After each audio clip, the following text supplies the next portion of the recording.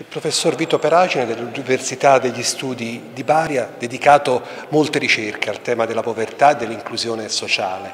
Eh, oggi a Firenze tante visioni si confrontano, ecco, qual è eh, la sua eh, idea, quale potrebbe essere la proposta giusta per fronteggiare questo grave problema sociale? Sì, ma io credo che ci sia eh, una visione abbastanza condivisa che è emersa anche oggi in questo convegno, eh, sia sulla fotografia eh, di quella che è la situazione della povertà, della disuguaglianza nel Paese. La povertà è aumentata negli ultimi anni per effetto dell'impoverimento complessivo, cioè della crisi, e anche per effetto dell'aumento delle disuguaglianze e dall'altro lato c'è un sistema di protezione sociale che è particolarmente inefficace e iniquo, nel senso che redistribuisce poco, è incapace di raggiungere eh, con efficacia i soggetti che hanno maggiormente bisogno e dunque è, è diciamo, inefficace nel contrasto alla povertà.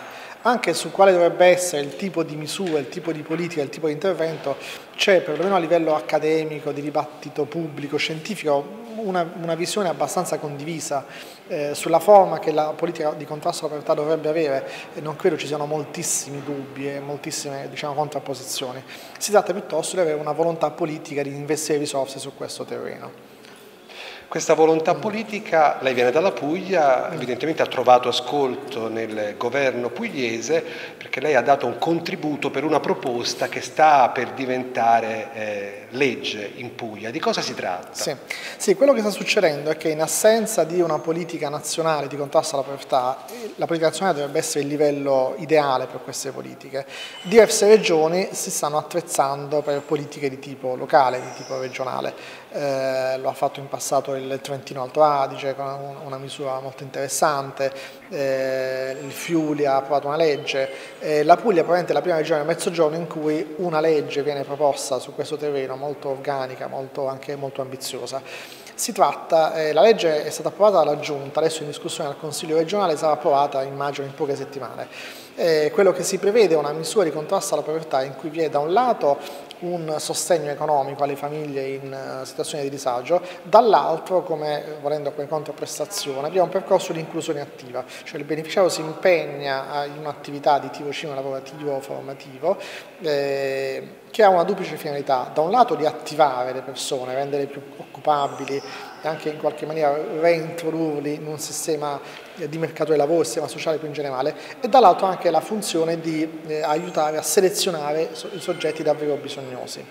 Eh, è chiaro che la misura regionale andrà eh, coordinata, e anche in questo c'è lo sforzo nella legge regionale, con le misure nazionali che si andranno a definire, alcune già annunciate, eh, siamo in attesa diciamo, di conoscere quali saranno i dettagli precisi delle misure nazionali.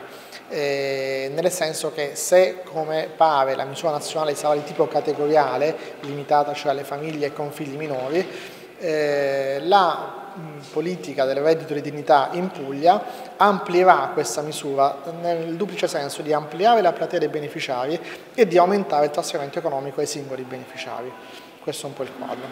Ecco, esattamente che cosa prevede la proposta? Sì. Allora, la proposta prevede di eh, dare un sostegno al reddito eh, che eh, ammonterà ad un valore di, di alcuni numeri di riferimento. Per una famiglia di 5 componenti si pensa a un trasferimento di circa 600 euro. Per famiglie di diversa composizione, eh, trasferimenti eh, inferiori basati su una scala di equivalenza ISEE. Accanto a questo trasferimento c'è un percorso di inclusione lavorativa, come dicevo.